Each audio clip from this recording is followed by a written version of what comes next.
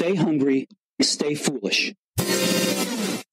Usually, when I introduce a guest and a book on the show, I have written it down. Sometimes I rehearse it. I certainly use maybe elements from the Amazon introduction when I do that. But I think doing that for this book just can't give it do it justice at all. So I'm going to speak from the right brain, from the right hemisphere here, mixed a little bit with my heart, a bit of heart brain coherence. And I'm just going to say what I think of this book and this magnificent guest that we have today. This book is, if I recommend any book that you read, this is a once in a generation book. It is so important to read this book. Our guest, and I hope through the show, gifts us a new lens through which to experience the world, to attend to the world. And I certainly get that from any time I indulge in any of his content, any of his writing, any of his podcasts, any of his channel that he's so magnificently put together. He is a change maker, he's a paradigm shifter. He certainly has done that in the realm in which he has written this book. It's three decades plus in the making this book. The research is just phenomenal. The appendix itself is a book. if you ever need any research on the brain, this book gives an appendix and you will never have to look any further. The amount of research is just absolutely phenomenal. I cannot do it enough justice, but what I can say is that my left brain, my left hemisphere, wants to give you a logical introduction to this book, but I'm going to let the master, which is my right hemisphere, give that introduction. And our guest is a polymath. He's a modern day Leonardo da Vinci. He is so widely disciplined in a wide range of backgrounds and disciplines and so much research. And as he talks about in his book, when you have that, you have a great tension of opposites the left and the right hemisphere coming together. And just like a bow, as Heraclitus would say, is not useful if it's not pulled taut. He has created this tension of opposites. And forth from the bow, if it's a bow and arrow, has come this magnificent oeuvre. And the French word oeuvre means a body of work. And it truly is a body of work. And it's a great pleasure to have him on the show. He is the author of my previous favorite show we've ever done in the 350 odd episodes we've done for this, it was The Master and His Emissary. Magnificent book. Every time I go back and listen to that or read any pages from it, I learn something.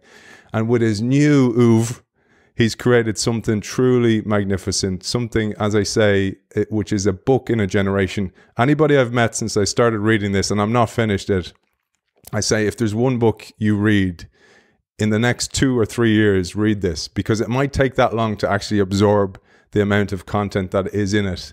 It is a great pleasure to welcome the author of The Matter with Things, Iain McGilchrist. Iain, you are very welcome. Oh, Aidan, what can I possibly say after that introduction, except that I'll be jolly lucky if I can live up to a tenth of it. But thank you very much. Well, we're not going to. We're not because we can't. It's it's uh, it's a decade, I think, since you wrote The Master and His Emissary, and what I find absolutely incredible is that this book was supposed to be a summary of that book, and it became something it's much very more funny. magnificent. Yes, yes. No, it was intended to be um, a short version of The Master and His Emissary. It's now about three times as long, and it's explored all the philosophical implications of what it means that we have two uh, conscious centers in our brain that are producing different kinds of experience. I thought we'd start with the way you do in the book, and you start with a note to the reader. And I think this is really important to give context. You say, This book is what would conventionally be called a single argument. That is why I have chosen not to publish it as three separate books one on neuropsychology, how our brains shape reality, one on epistemology, how we can come to know anything at all, and one on metaphysics, the nature of what we find in the cosmos. It is intended as a whole, each part illuminating and in turn illumined by the others. Yes, uh, well, it has a logical structure in a way, um, although, as it, once again, everything connects to everything else. But I wanted to address the ancient question of who we are. Um, this is a question that, as Schrödinger pointed out in a lecture in Cambridge just after the war, was asked by Plotinus, the third century Greek philosopher. But we, who are we? And it seemed to me the urgent question of our age. I think we've completely lost any sense of what a human being is, what we're about in this world, how we relate to the world, and what the whole business of the cosmos is like. We seem to have lost any sense of direction, of meaning, of value, of purpose, and we're on the point of turning ourselves into a kind of robot. And this seemed to me a terrible thing to be happening. In fact, I now consider this crisis of humanity to be on a par with the crisis of the destruction of nature, because we may or may not um, be able to do something about the way we're destroying nature. Nature, in the end, will rebuild herself. Nature has always done this. But we may simply not survive um, because of what we're doing to ourselves. We're becoming measurably less happy I mean, enormously much less happy, more stressed, more anxious, more depressed, with an overwhelming sense of pointlessness. And this is something that is a major tragedy. So what in this book I try to do is to go back. How do we know anything? If it's true, as I demonstrated in The Master and His Emissary, that the two halves of the brain present two versions of the world which are not necessarily entirely compatible, which one should we trust?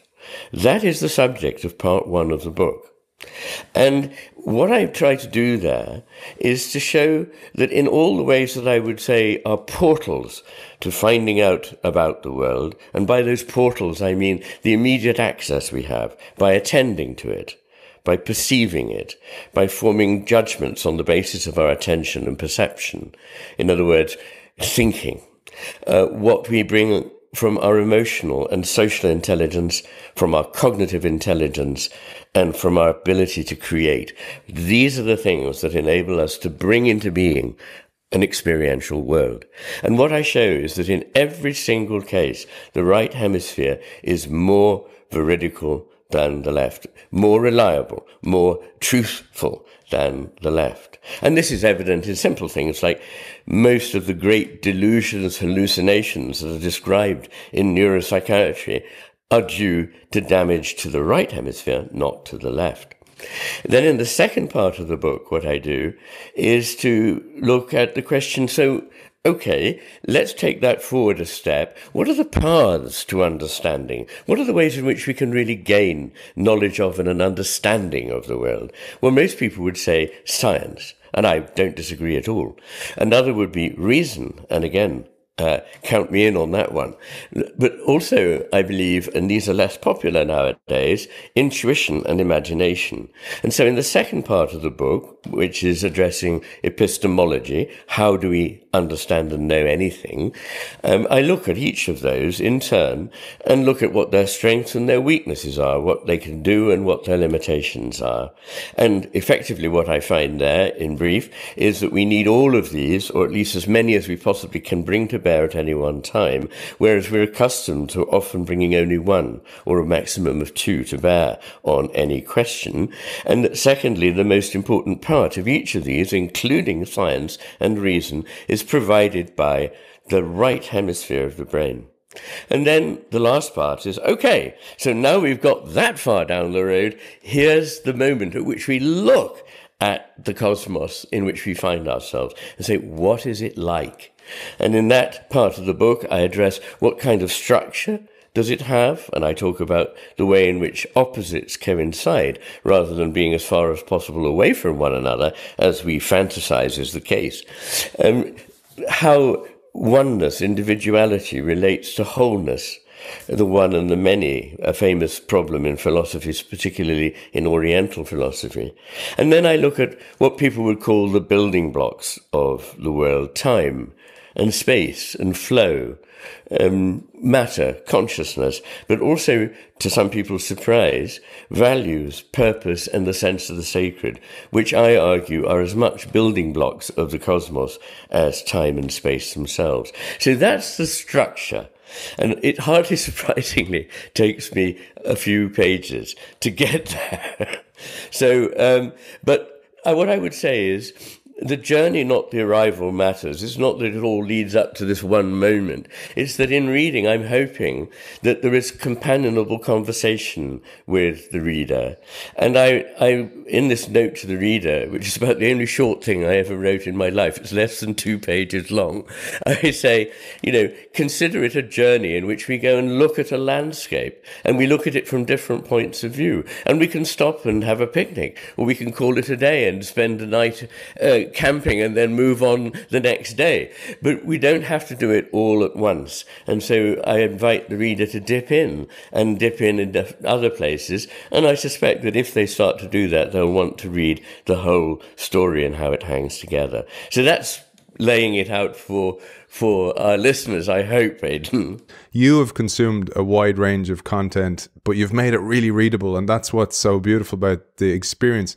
And there's a line I wanted to share because I can't resist, because it also speaks to the spirit of this show.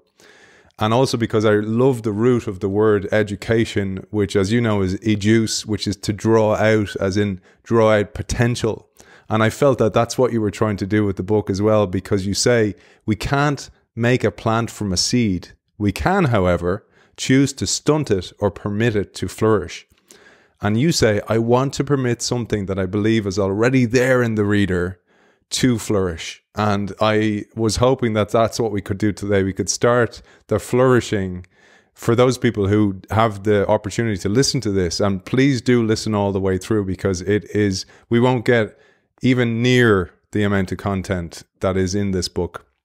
But uh, let's jump into the fact that you are, I mentioned in the introduction, a change maker, a paradigm shifter, but that doesn't come without some type of consequence because you launch into something that is uh, has been a very divisive element, which is the the battle of the hemispheres, if you want to call it that. And you say the brain is importantly divided into two hemispheres. You could say to sum it up to sum up a vastly complex matter in a phrase that the brain's left hemisphere is designed to help us apprehend and thus manipulate the world, the right hemisphere to comprehend it, see it for all that it is. The problem is that the very brain mechanisms which succeed in simplifying the world uh, so as to subject it to our control militate against a true understanding of it. And here I wanted to firstly, if you wouldn't mind telling us about that challenge that you've had to debunk the debunking of the hemisphere myth, as it used to be called, but also then this understanding of both comprehend and apprehend, which I found fascinating. Yes, I'm using the word apprehend in a restricted sense. Um, it comes from a root in Latin which means to take hold of, to, to, to grasp onto something. Um, and what I mean by that is to get it in one's grip so that one can use it finally. So, in order to survive, we desperately need all the time to be getting stuff, even if it's so simple as just getting food.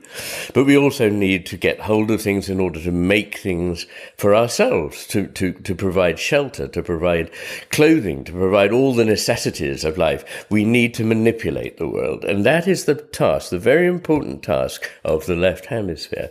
But the right hemisphere is therefore left left with the rest of what we need a brain for, which is seeing the whole. And I give this image of a bird trying to pick up a seed on the background of grit or pebbles. It needs to be very um, quick and dexterous in picking up this tiny little thing. So it has to fix it with its attention and see it very, very clearly in order to be able to get it.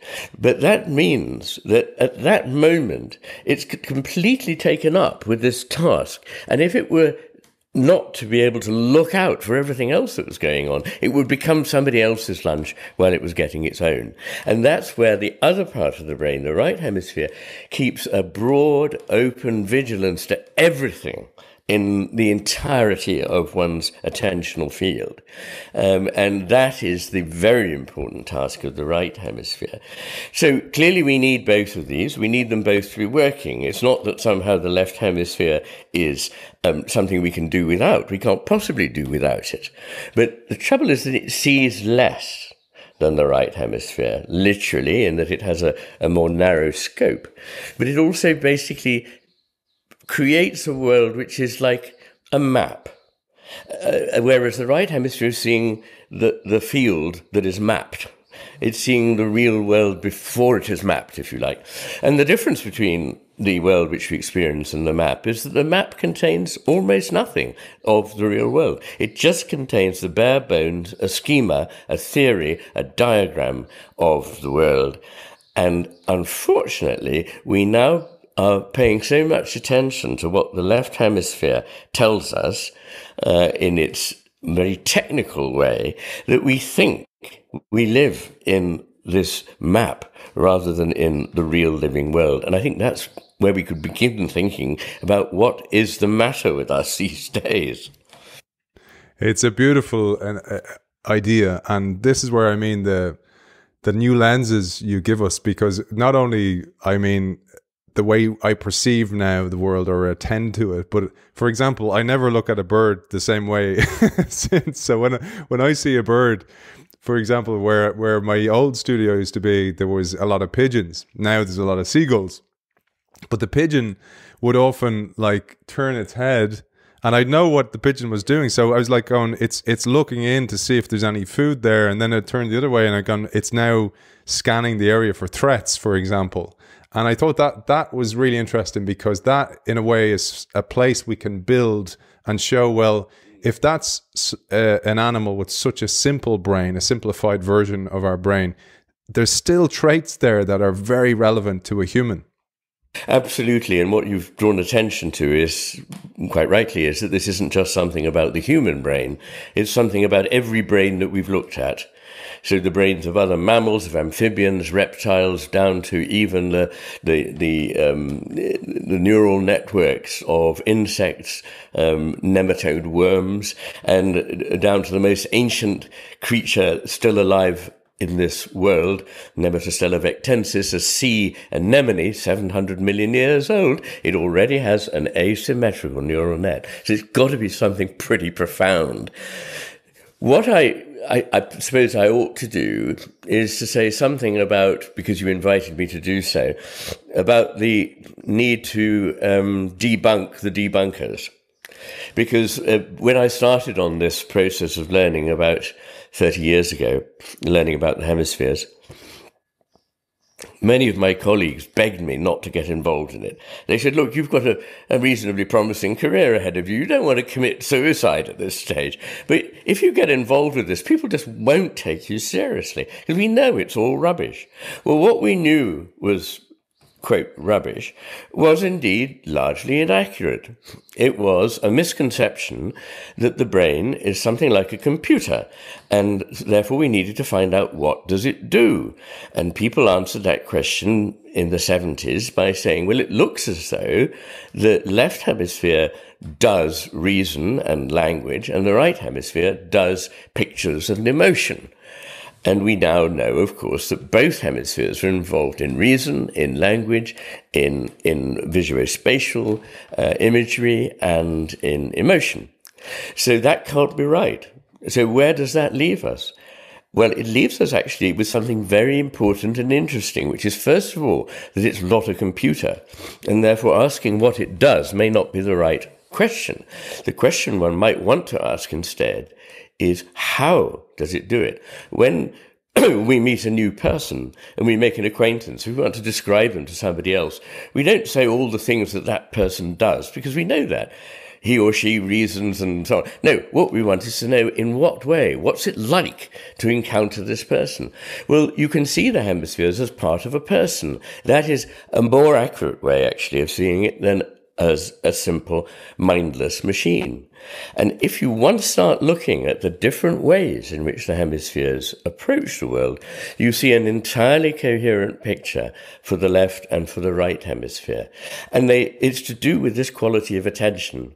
When I first discovered about the attentional difference, the penny didn't quite drop immediately. And then I thought, oh God, attention changes the world. And so if they're attending differently, they've got to be producing different worlds. So the two parts of my um, hypothesis are not disputable by experts in their field. What's unusual is bringing them together. So neuroscientists, neuropsychiatrists, neurologists will not dispute the fact that the two hemispheres are different. That when you have a lesion in one place in the left hemisphere and in the mirror image place in the right hemisphere, it will lead to completely different consequences for the person. So that is not um, an issue, nor is it that they attend differently. Everyone knows it's not controversial that the left hemisphere plays this, pays this narrow beam attention, the right hemisphere this broad, open, vigilant attention. So that's not controversial. And to philosophers, it is not controversial that attention changes what we find. If we attend in one way, we see one thing. If we attend in another, we see another. It's just that what I did was take these two things, one from science and the other from philosophy, and put them together. And if you do that, what you find is two different experiential worlds. Left hemisphere's world being made up of fragments that are static, separate, uh, decontextualized, disembodied, abstract, categorizable, and inanimate. Whereas in the right hemisphere, you see that things are all actually interconnected, that nothing is ever isolated completely, that they're also not fixed and certain, but always something coming into being. They're becoming, they're in process all the time. That they're also unique, that you can, for convenience sake, group them together, but everything you actually experience is unique. Uh, each blade of grass is actually quite different from every other blade of grass. That we can only understand things in their context, that once we take them out of the context, as the left hemisphere does, they change their meaning. Um, and that we're dealing with something that is embodied and animate, and where a lot of the meaning is implicit. And that by making it explicit, which is the only kind of meaning the left hemisphere has, we ruin it, we change it, we lose it.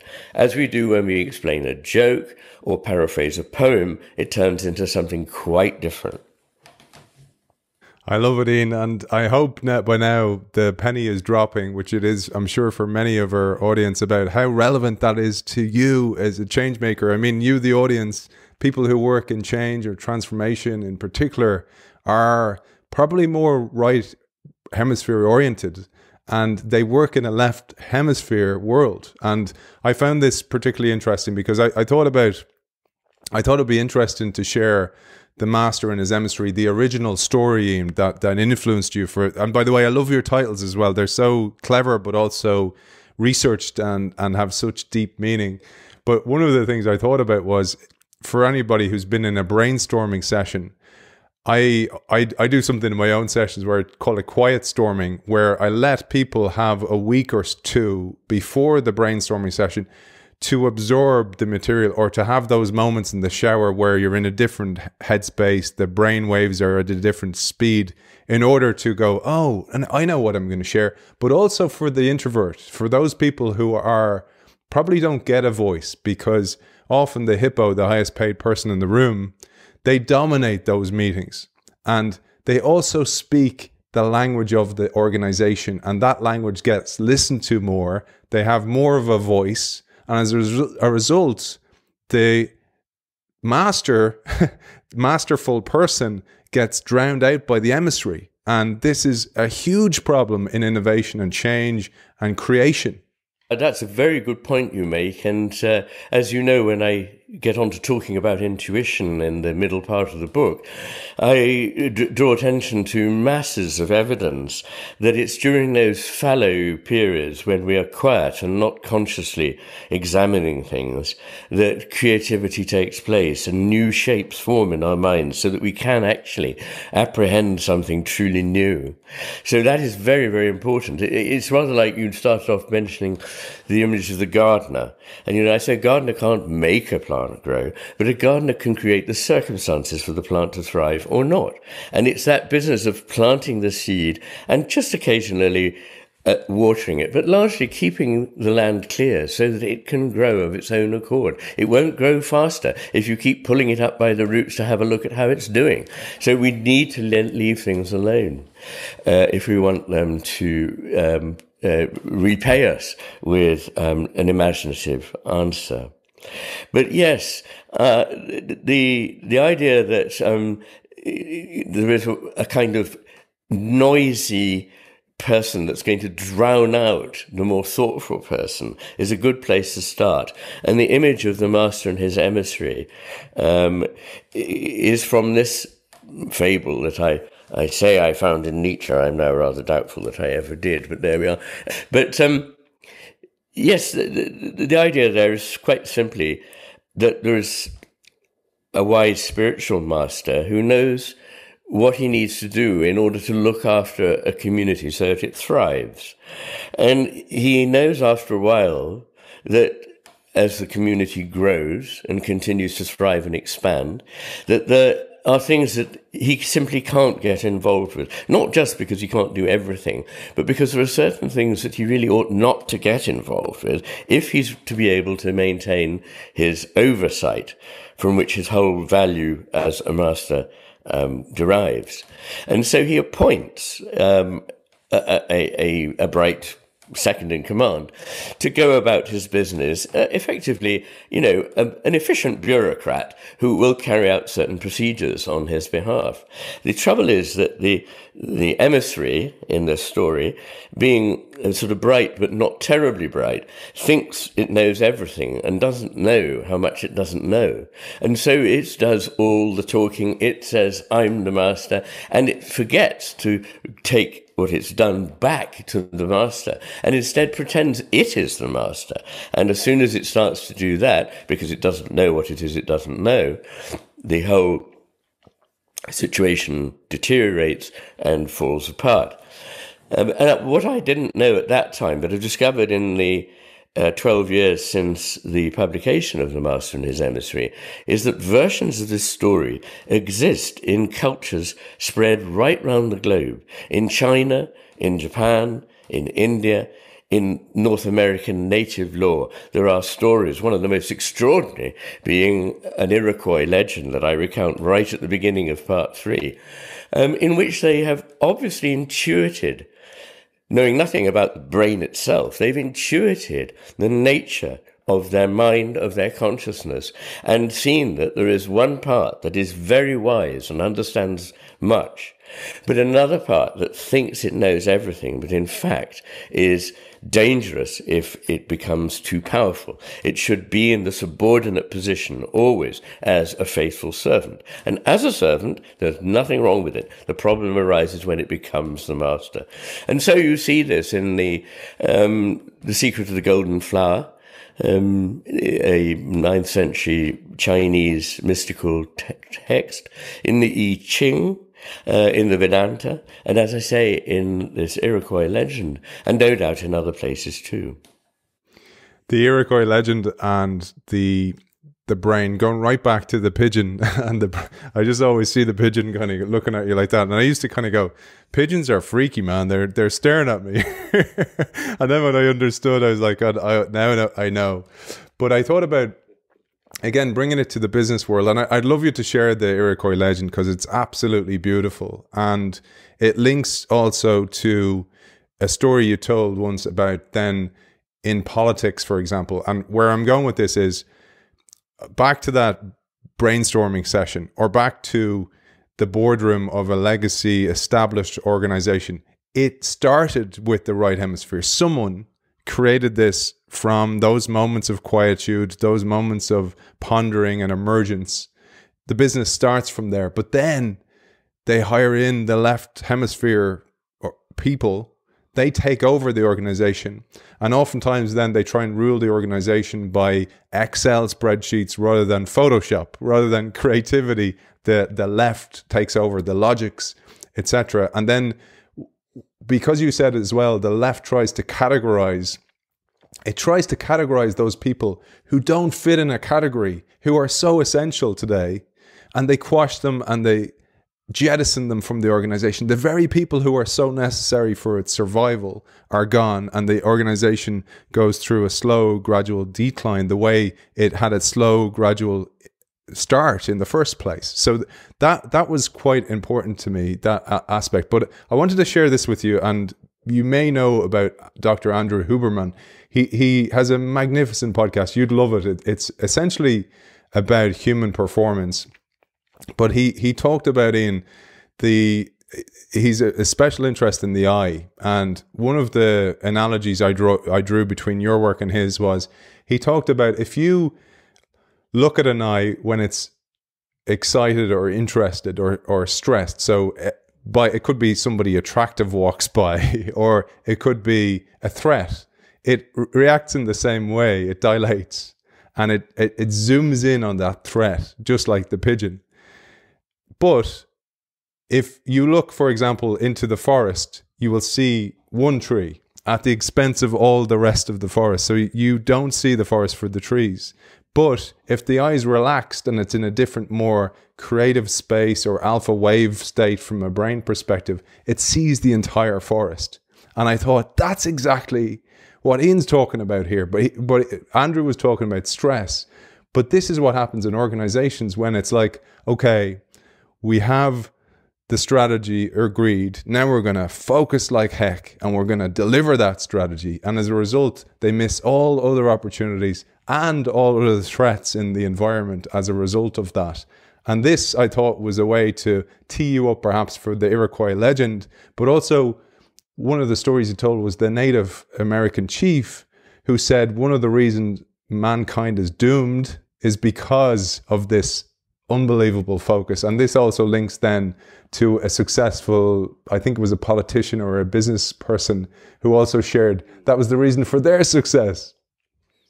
Yes. Yes. Uh, perhaps I could just say about the situation that uh, will be important for many of your listeners. Um, there are two aspects to it. One is the mishandling of people who are creative and the other is the over domination by people who are effectively organizers or bureaucrats. And we see both of these things happening. For example, you cannot make people creative to order. Your best plan for making them creative is to leave them alone and stop giving them deadlines. Now, it is true that sometimes nothing will happen. You have to accept that risk. But if instead you enforce a goal that has to be achieved in a certain length of time, you will guarantee that nothing truly creative will ever happen. I have some experience of this myself in that just after graduation, I won what is really the most wonderful prize that any young person could, in those days, or even now, expect to, to uh, receive which was a fellowship of All Souls College, in which I was given no obligations to teach or research or do anything for seven years. And nobody said, What are you doing? But if I'd had to publish a paper every three months, I would have narrowed down my thinking very quickly to certain specifiable tram tracks. But because I wasn't, I was able to lay down what I now see was the basis for being able to write the books that I've written later in life. Because it was then that I was able to follow my interests in philosophy, in different languages, in science, and so forth. And it was that freedom that enabled me to be able to be creative if I have been creative, as people tell me I have. So, um, the other side of that is the, the domination of the administrative mind, the managerial mind, which uh, is so dire in all the worlds I know in in science, in medicine, and in the university, where instead of um, professionals being able to do what they know best, they have all the time to humour um, administrators who themselves are bogged down by the administration that they themselves created. They're not trying sinisterly to control other people. They themselves are the victims of the very system that they they set up. It is now bigger than anyone, and it's wasting resources, it's wasting time, it's causing frustration, it's negating creativity. And so the two things that everybody needs to do are cut back administration and management. And I don't mean by 20%, I mean by 80%. And cut back on controlling the people who are creative and instead give them the freedom and the peace in which to be creative. So that's what I want to say about that. But you you you, you mentioned two things. One was um, an extraordinary uh, story that was told me by um, a member of the Green Movement in in Switzerland. Uh, that as a young person, he had had um, a house, or his family had a house uh, next door to Jung's on um, a, lake in Switzerland, and that uh, as a child, he remembers going and visiting Jung and Jung talking about what he had found out in America, where he'd been uh, listening to the stories told by North American natives. And one chief said, The white man is doomed. And, and Jung had said, why? And he said, because the white man sees like this. And he put his fingers on the tip of his nose and then stretched them out to a point in the distance and said, he sees a single goal and he takes direct steps to it. Um, and uh, then, uh, much later in life, uh, uh 50 years later, he was talking to a self made billionaire in Switzerland uh, about the phenomenal success he'd had as an entrepreneur. And he said, uh, I put it down to the fact that I have one single goal in mind. I put it in the future and I go towards it uh, uh, in, in, exactly the same way that um, the uh, the Native American had said um, was the doom of, of humanity. And so, I mean, it's true that maybe a short term goal can be best achieved like this, but if we actually want to survive, then it's not the way to look at the world. And then there is this story, which I, am rather nervous about trying to abbreviate because it's so subtle. It has so many aspects to it. It's so beautiful. Um, but effectively, the idea is that because of a decline in the universe, two brothers were sent down from heaven to superintend the regeneration of the cosmos and bring back light to it. And these two brothers uh, were different in nature. One was called He Who Grasps the Sky with Both Hands, and the other was called Flint. And he was hard like flint and was like an arrowhead and had a single trajectory. And he was able to speak, but not really able to understand what the other brother was able to understand. So far, this is exactly like the relationship between the right and the left hemisphere. And anyway, um, the, the, the, the, sort of good brother started to create creatures. It created flowers, it created animals, it created birds, it created fish. And the other brother was jealous and thought, well, I will um, create my own. And he takes his brother's creatures and walls them up in a cave and starts making his own creatures. But instead of making um, birds, he, he, he makes um, um, moths and spiders. Instead of making um, flowering plants, he makes thorns uh, uh, and so on. And he, he creates even a creature that is like the human, but is a horrible, misshapen creature, rather like a golem who, who, um, who runs away from him uh, in a distressed state.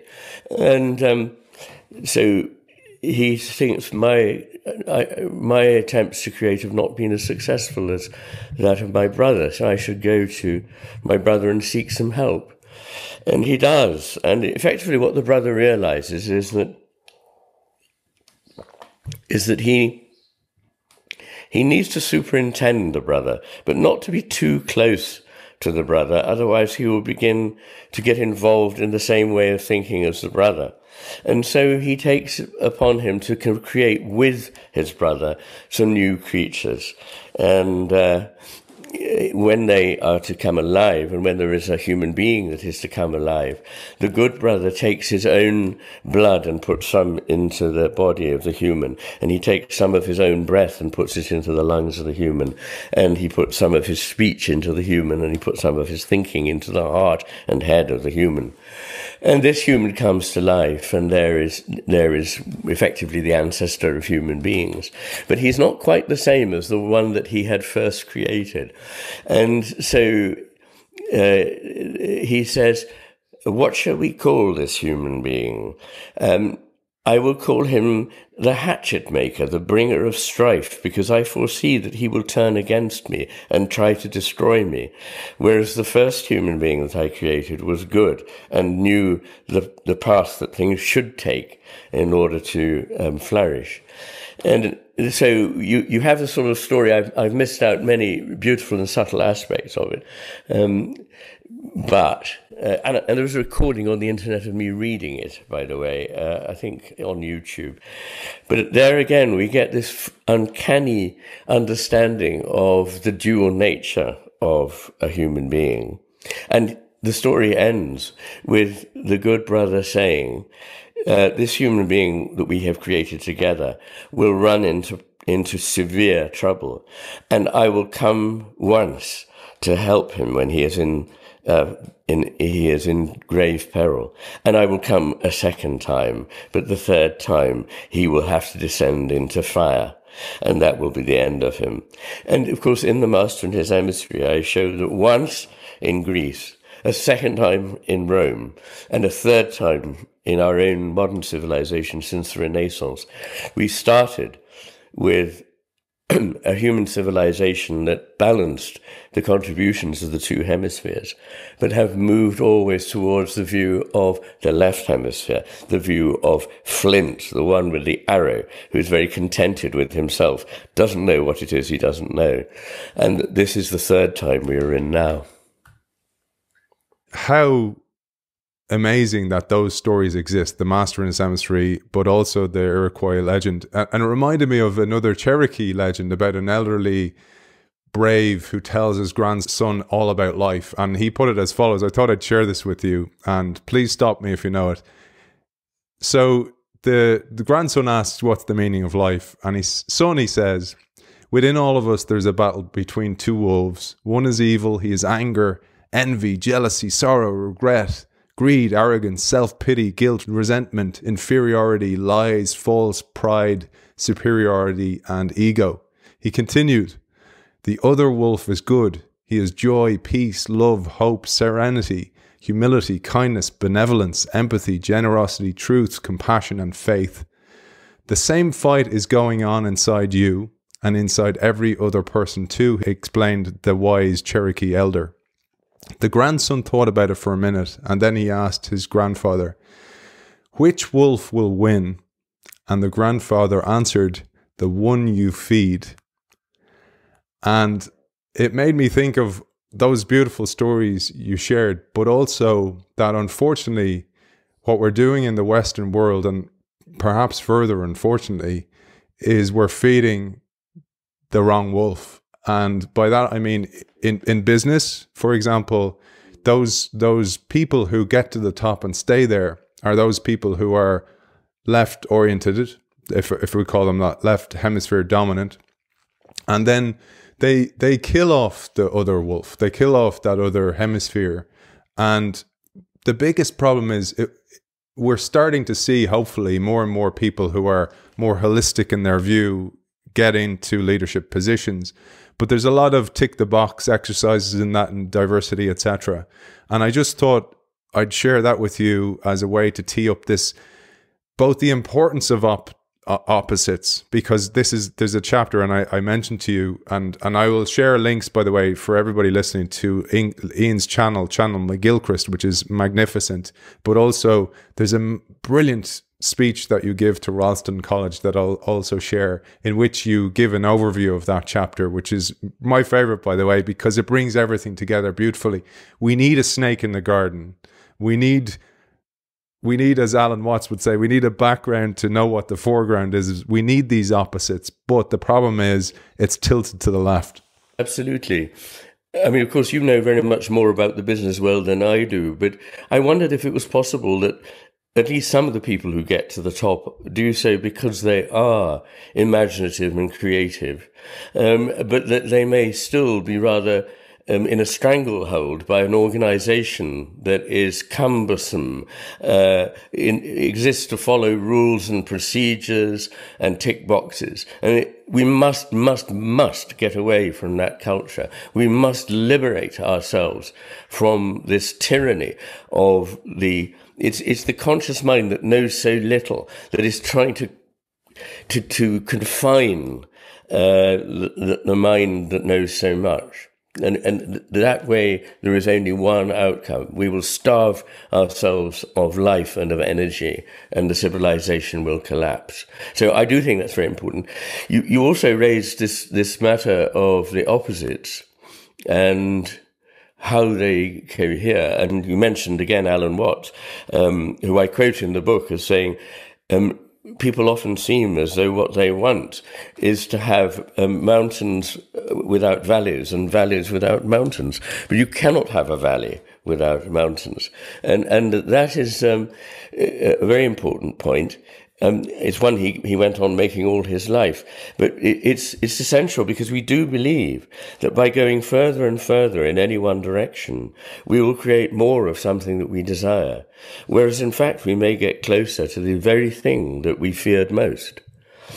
The really essential point at the moment is that by wishing to free ourselves from fear, from danger, um, from anxiety. We are creating fear, danger, and anxiety.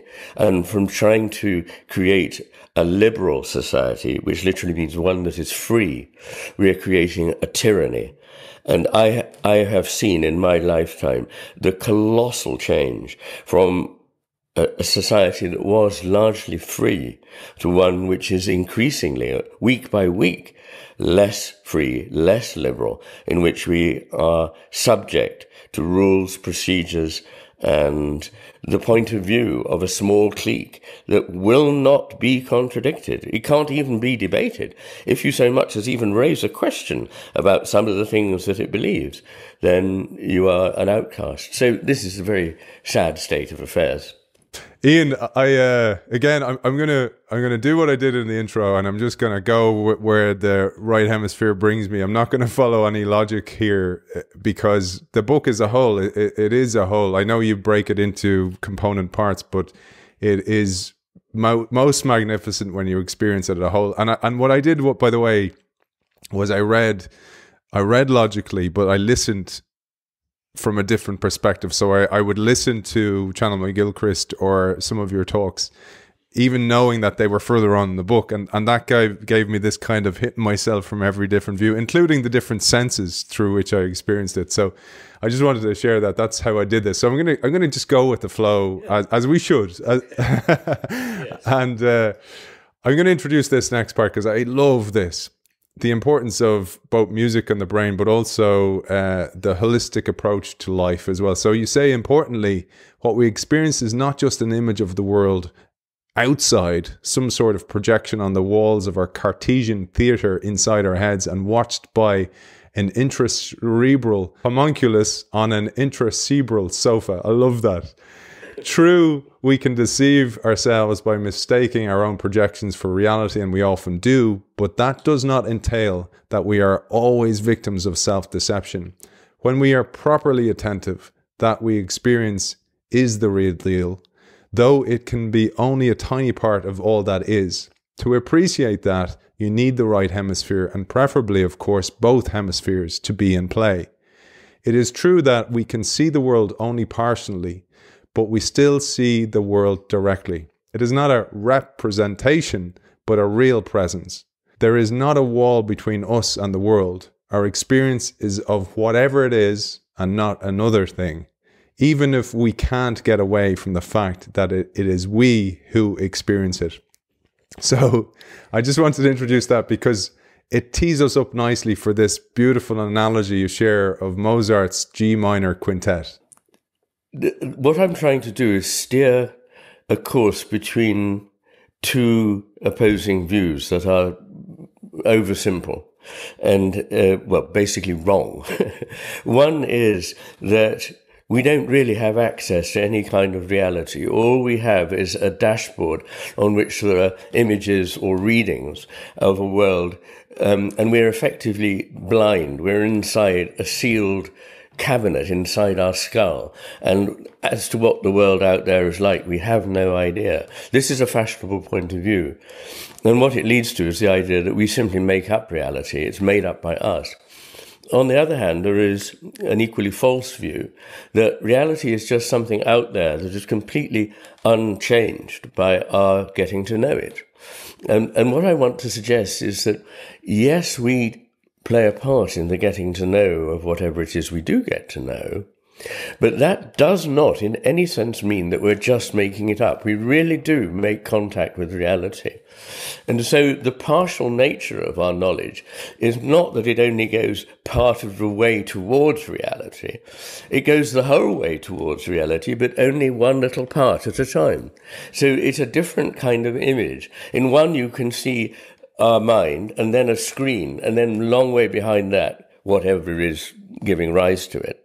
And that's the, in a way, Kantian idea that we can't really know anything, we only know the contents of our own mind.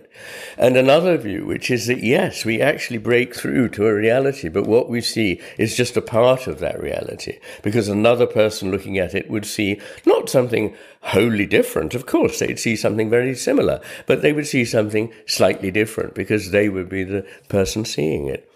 So, on the one hand, it is not part of my case that really we make things up. There's a there's a, a position beloved of of uh, educationists that which is called constructivism. That really every child just makes up the world, and this is a very very partial truth that something of them goes into the encounter. That is true, but that there is no um, reality to generalize about completely false. Um, because anybody who's really attending to it properly will be seeing something remarkably similar. And I use the image of, for the sake of argument, Mozart's G minor quintet, largely because I think it's one of the most staggering and profound pieces of music ever written. And I, I suggest that everyone that plays it, every time it is played, it comes into being slightly differently. So each performance is slightly different. Um, but there isn't one real performance in heaven, which is the, the right way that it should be played.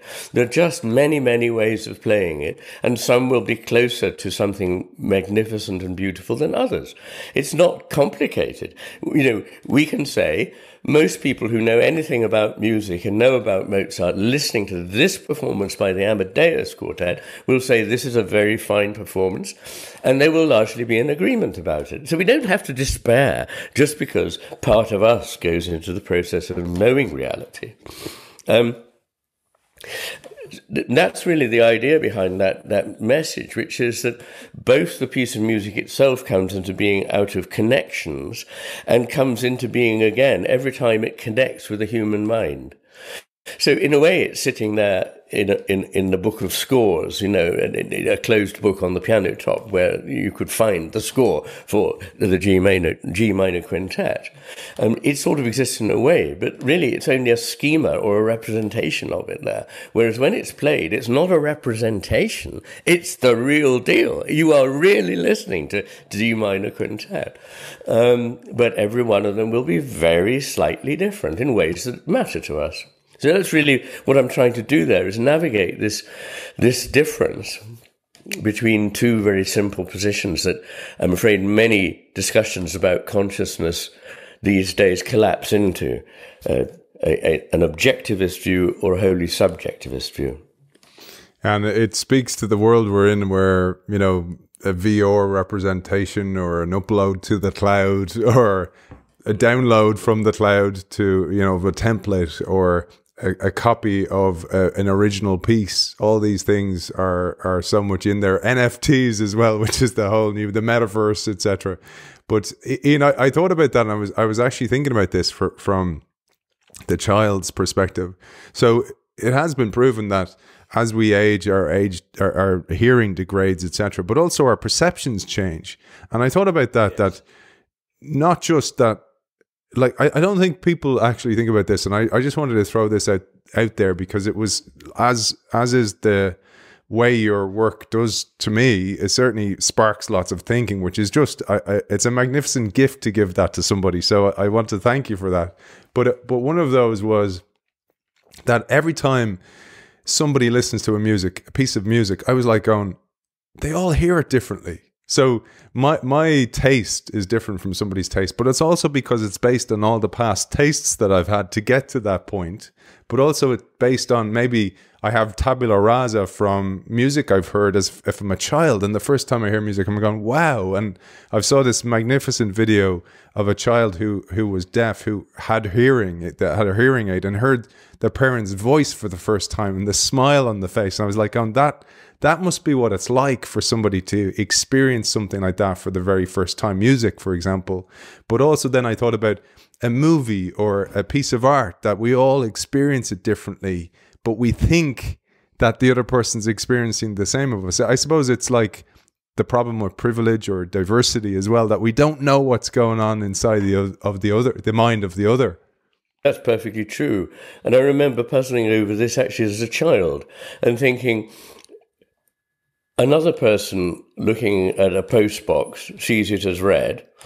I see it as red, but we can't tell whether the experience that that other person and I have is the same.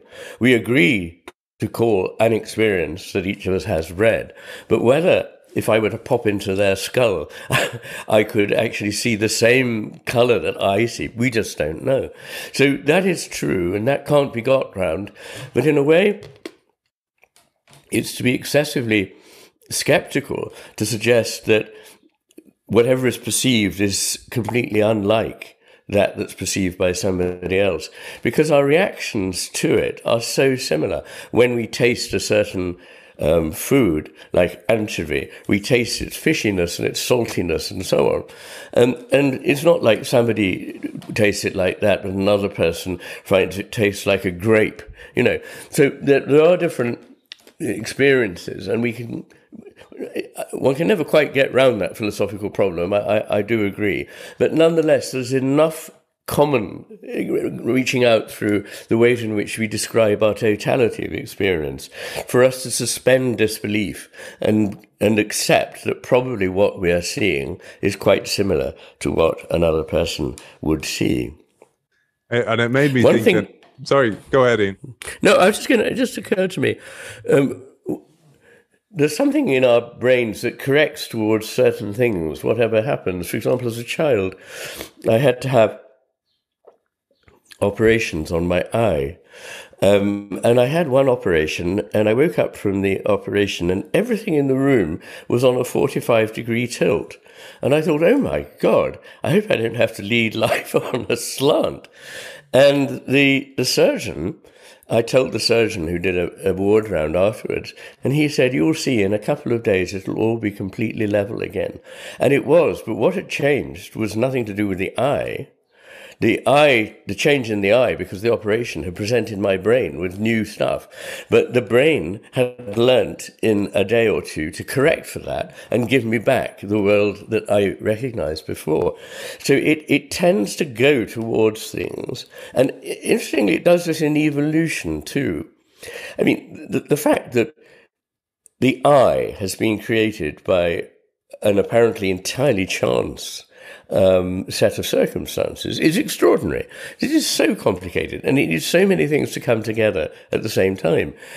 But interestingly, eyes have been created probably 12 or more times in the history of evolution, not just once, but in different creatures.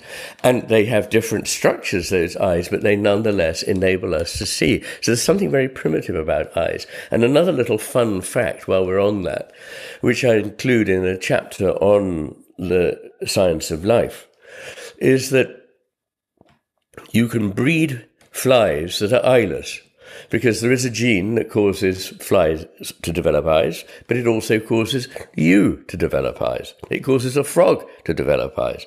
You can take it out of the fly, and the fly will be blind. It will have no eyes.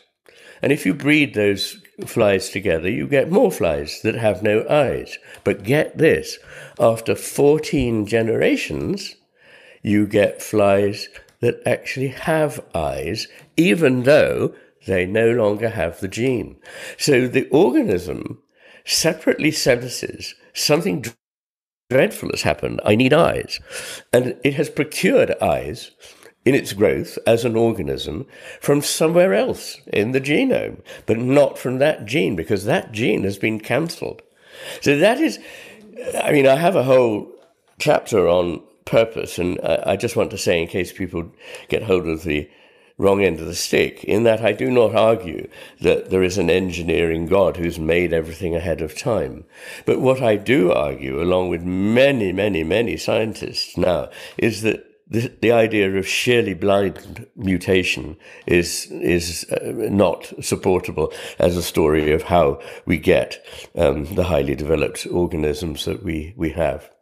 Wonderful. You, you sparked so many thoughts for me. I was thinking, firstly, I, I don't know if you, so you know the way we're trying to train AI, artificial intelligence, to do lots of things. One of the things they they've attempted is to teach artificial intelligence to or robots essentially to gather coffee beans. But it, it actually takes a very astute eye to be able to establish whether they're ripe or not. And it's very difficult for AI to to detect the, the type of ripeness. But also as you know, birds, for example, see multitude versions of green, while we just call it green, maybe light green, dark green, but they see very, very different uh, ranges of green. I think I read that in the Master and His Emissary.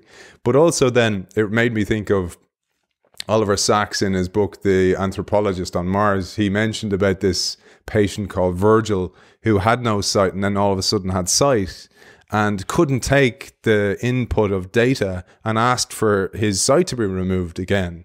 And I thought finally about the 45 degree angle. And as you, as a French speaker, you'll appreciate this, that the, the term bias actually means slant. It means we're slant as in on a, on a, a petanque, uh, Yes, yeah. so I, I, I think that's fascinating because it, it really just shows you how there is diversity and that diversity then and where i'm going with all this is if if you think about the, the spectrum of seeing green or red or all those different things from across the species but also in this species and i thought then about because you you devote a, a element of the book to autism and, and schizophrenia and i thought about those neurodivergences if you want to call them that that that neurodiversity that that can be harnessed for the better Yes, yes.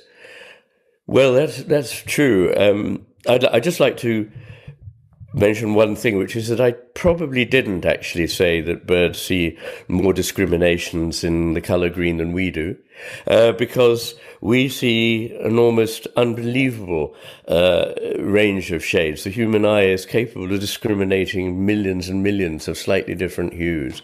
Um, uh, but uh, and it's also not true that um, that the Eskimos see different colors of white and have different, you know, more names for snow than we have. They have about the seven uh, terms that we have, and they see snow as we do. So I, I, just wanted to correct that in case somebody was saying, I don't believe that's true. I don't think. well, thank you. Um, yes, uh, what, what I think is is uh, wonderful is, is your reference to neurodiversity in the sense of different brains that can achieve things that our brains can't, but can't achieve things that our brains can.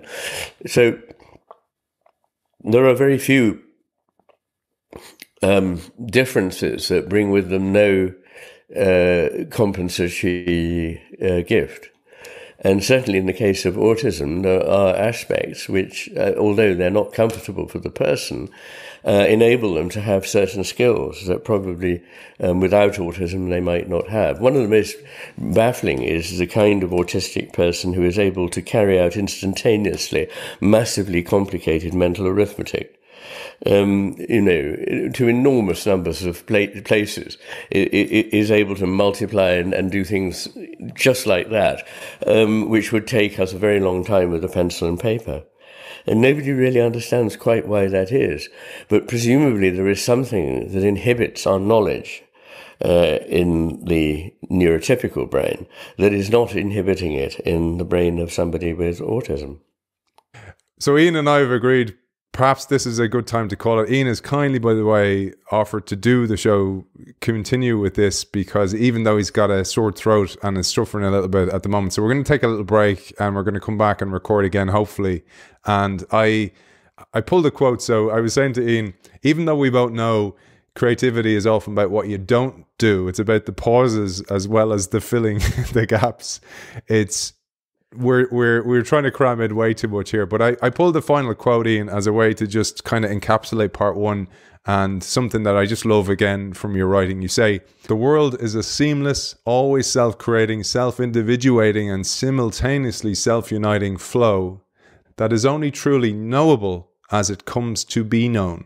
And creativity is always discovery of the self as well as of the other. Once one sees this, the objectivizing, time denying, change denying, diagrammatic mentality of modern Western thinking appears, as I believe it is, a hindrance, not a help, on the path to truth. I absolutely love that. The map is not the territory. Iain, it's been an absolutely beautiful, fascinating, informative part one, and I'm very, very grateful for your time, particularly with that uh, cold that you're nursing in the background. And hopefully, we do get to part two today. If not, no worries. Our audience will be very, very eager to listen to you again. And it's been an absolute pleasure talking to you. And you can see behind me there, I have my McGilchrist shrine. Uh, the matter with things is there the master and his emissaries there. And there is another book by the way and i i hope i had hoped to get to that. And then the next thing you come out with this bad boy and uh, blow everything up again. But it, it kind of unites all your previous work as well. So uh, it's been an absolute pleasure. Thank you. Enjoy your rest. We're going to have a mental amuse bouche and i'll see you shortly. Thank you very much. Thank you very much aidan. Look forward to talking again shortly